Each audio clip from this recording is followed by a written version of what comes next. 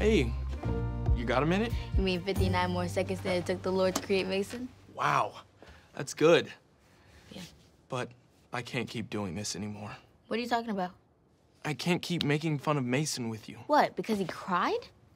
We toughened him up. Imagine if I was able to taunt you at his age. You'd be captain of the football team. Or dead. Either way, full page in the yearbook. I appreciate that, but it's over, Diane. I've already apologized to Mason and his family and taught his mom how to use Excel.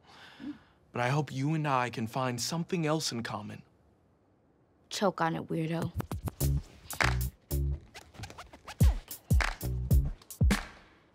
This feels right.